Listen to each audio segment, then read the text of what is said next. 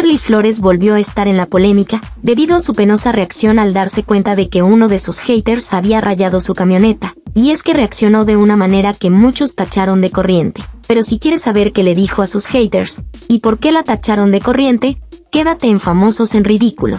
No es un secreto que Kimberly Flores es uno de los personajes con más haters a nivel nacional, y es que, con sus constantes polémicas, se ha ganado la fama de aprovechada y oportunista, como cuando compartió un video en su cuenta de TikTok, donde se apreciaba cómo se robaba la propina que su esposo Erwin Luna había dejado para un mesero, pues aprovechó que su esposo ya había salido del restaurante, para regresar a tomar el dinero.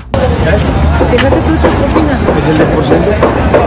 Ay, yo no lo traigo. algo que le fue duramente criticado, pues lo compartió como algo gracioso, sin embargo, solo ganó que sus haters inundaran de insultos todas sus redes sociales, por lo que tuvo que bloquear los comentarios de su publicación. Sin embargo, su más reciente polémica la protagonizó al salir de un centro comercial, pues tras percatarse de que uno de sus haters había rayado su camioneta, explotó ante la cámara diciendo palabras tan fuertes, como vete a la verga y ráyate las nalgas, por lo que las críticas no se hicieron esperar.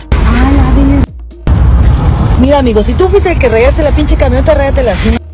Y es que en apenas unas cuantas horas le llovieron tantos insultos, donde la tachaban de agresiva y corriente, que nuevamente tuvo que alejarse de sus redes, por lo que terminaron por aconsejarle que cerrara su cuenta, pues aunque quería sentirse una socialité como las Kardashian, no llegaba ni a parecerse al reality de los Rivera, echándole en cara que su cuenta de TikTok solo era un imán de haters. Cabe mencionar que ella sigue compartiendo contenido de manera regular, a pesar del hate y los malos comentarios, llevándose récords como el video musical con más dislikes en YouTube en apenas horas, o la cuenta con más insultos en Instagram.